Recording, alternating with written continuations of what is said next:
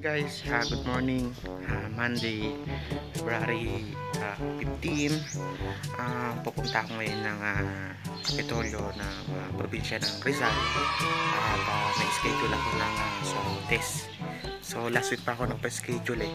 Second attempt ko na ito At uh, ngayon nga ay pupunta ako. Schedule ko alas 10.15 hanggang uh, 10.30 Pupunta na ako ngayon doon At samahan niyo ako uh, Iba-vlog natin yung uh, uh, procedure. Although alam na ng iba ang um, subtest at uh, kailangan ko ng result at uh, medyo kailangan ng uh, required papuntang norte so next week biyahe tayo ng norte Wow! Sana all! so ngayon papunta na tayo doon sa Kapitolyo so bye bye guys 멈춘 시간 속 잠든 너를 찾아가 아무리 막아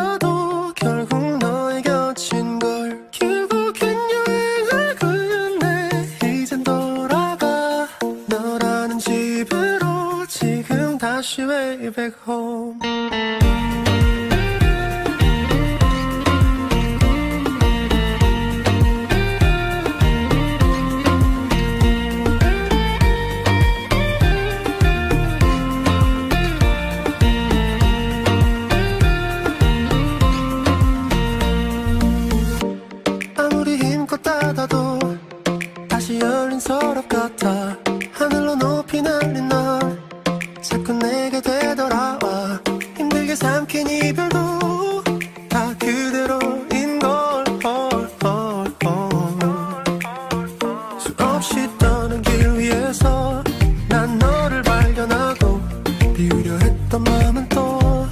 이렇게 너로 차올라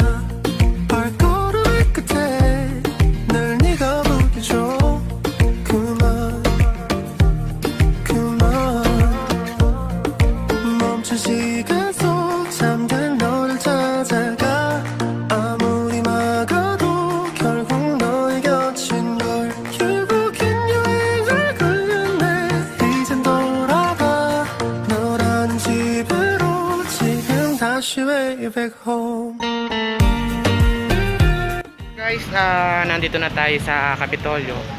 Ayan. Yung aming Inari Center at saka yung ah, Kapitolyo. Ah 10 minutes lang na nakarating agad tayo dito sa venue. Dahil malapit lang din naman ako dito sa Inari Center. Ngayon pupunta na tayo dun sa venue kung saan sinasagawa yung ah, free swab test ng ah, Rizal. And dala natin itong ah, valid ID na nire-required license yung dala ko tsaka face shield tsaka kailangan naka face mask tayo para nasusunod natin yung protocol na pinapatupad ng ah, bawat LGUs ng IATF ngayon pupunta na tayo dun sa venue ng swab test at mag uh, pipil up tayo ng form doon and then uh, tingnan natin kung mabibidyoan natin yung uh, ah, pagkasagawa or procedure kung paano magpa swab test. Balikan ko kay guys maya maya yun guys, ito yung aming kapitolyo. Ayan, panglalawigang uh, uh, ng Rizal. And then the Inari Center. Diyan daw, uh, as per dun sa guard natin pinagtanungan, diyan daw sa area na yan sa likod ang sinasagawa yung uh, swab test.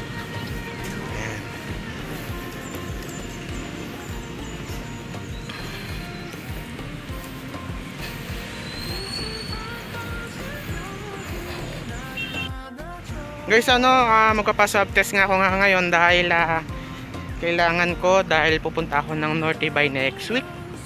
Ah, long weekend and then ah, mm, so, ang probinsya naman ng Rizal ay ah, nagbigay ng ah, free swab test. So, ginarap din natin kasi required papunta nga Norte. Ang ah, dahil may sila, magka kailangan nila ng uh, med cert and swab test result.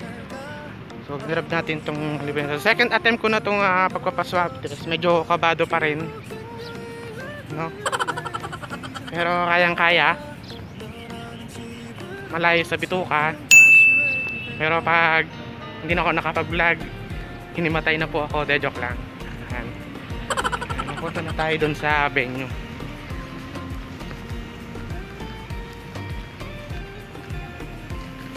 Ang ganda ng ah, programang ito, hindi dahil sa COVID, pero dahil nga libre yung swab test na binibigay na serbisyo ng ah, Rizal. So hindi na masyadong ah, toxic or hindi na masyadong ah, hassle pa para magpa-swab test at magbayad ng ah, ganung halaga. Sir, saan po yung swab test po? Ayan po. Ay, sige po, salamat. Ayan, dito pala sa talaga sa likod. So guys, balikan ko kayo maya maya. Uli. A few moments later. Tayo sa area ng ah, una ay assessment interview. Ah, naglag muna tayo dun sa ilang attendance for ah, ah, contact ah, tracing and then ah, meron tayong form na kailangan pilapan. Ah, mahalaga na may bigyan natin yung mga full details. Ah, paano nila tayo makokontak if ever positive, ah, positive or negative ah, yung mga kung saan papadala yung result. So, kailangan natin pilapan to. Ah, susunod tayo dun sa ah, data sheet na provide ng ah, Rizal Provincial. So, pipilap muna ako guys and then sasubmit natin doon sa front desk. Ano? 잠든 방을 열어 기억을 꺼내들어 부서진 시간 위에서 선명히 너는 떠올라 길 잃은 맘속에 널 가둔 채 살아 그만 그만 Guys, bang pagkatapos mag-fill up no form may interview, initial interview. And then, ah, yun nga, kailangan na ma-fill up ang may form na bibigyan nila na malinaw na mababasa kasi sa result ay kailangan ay kompleto yung mga detalyeng ah, ilalabas nila. So, kailangan face mask ka na and face shield and then waiting ka lang sa pila. No. Mabilis lang namang procedure nila. So, maya maya papasok tayo dun sa venue ng ah, booth for swab test. So, balikan mo kayo guys mamaya.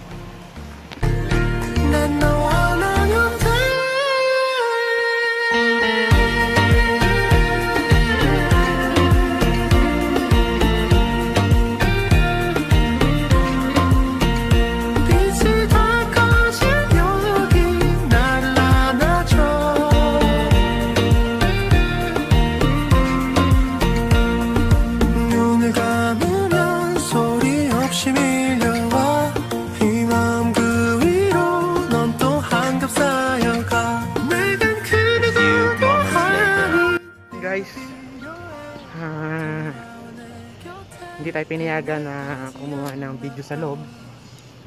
At ah, bawal daw na kunan ng video or any photo sa loob.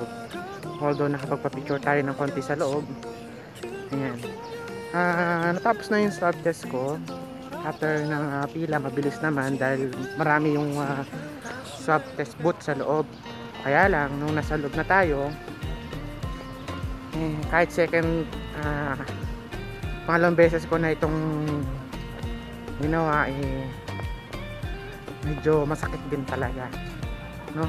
Sakit kasi yung unang swab test ko ay isa lang sa butas ng ilong ah, at sa lalamunan. Ngayon bukod sa lalamunan ay dalawa na butas talagang ah, ah, hindi ko alam kung iba't iba ang ah, gamay ng ah, mga frontliners kung paano sila kumuha ng ah, swab test. Pero yung ginawa sa akin ay dalawa. Sa ilong talagang sinagad. Masakit. Medyo naluha-luha nga ako ng konti at ah, naubo. No? Ah, sa mga magpapaswab test ah, good luck. Yes po ate. Yes po ate. Meron po. So yun nga natapos yung aking swab test. Hindi na kunan sa loob dahil bawal nga. Pauwi na ako. Punta na ako ng parking lot. Ay naluha lang na ako konti pero hanggang ngayon masakit pa rin sa ilong. Ah, ramdam na ramdam ko yung tagus ng ano ah, pag swab test sa akin. Yun guys so ah, as per dun sa ating ah, booth ay 3 to 5 days bago makuha yung result via itetext ka nila and then sesend nila sa email mo na ibinigay mo doon o inilista mo doon sa form. So waiting na lang tayo ng result. Hopefully ay negative yan. Kasi pag nag positive yan patay tayo dyan. No? so guys thank you thank you. 멈춘 시간 속 잠든